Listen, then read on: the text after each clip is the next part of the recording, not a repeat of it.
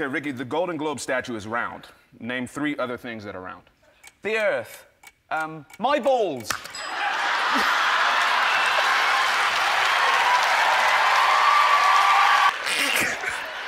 Oh no, Andy, we're not done.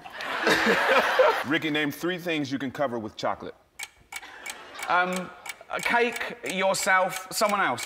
I can't wait to hear his easy question. Okay.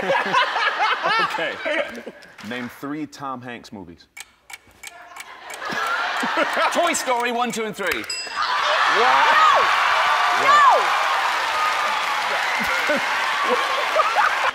oh, oh no, we're not going to break yet. Hold on. Okay, Ellen, name three undergarments. Uh, a bra and panties and socks. Yeah, yeah, Yeah. Name three cocktails. Manhattan, screwdriver,